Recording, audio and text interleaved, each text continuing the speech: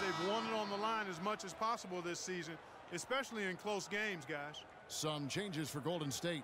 Ezeli's checked in for Bogut, and it's Harrison Barnes in for Andre Iguodala. Then for the Thunder, Wesley Johnson's checked in for Ibaka. Dion Waiters comes in for Roberson, and it's Payne in for Russell Westbrook. Durant hits them both.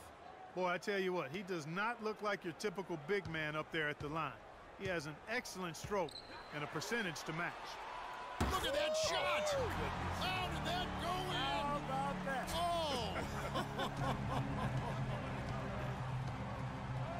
Payne kicks to Johnson.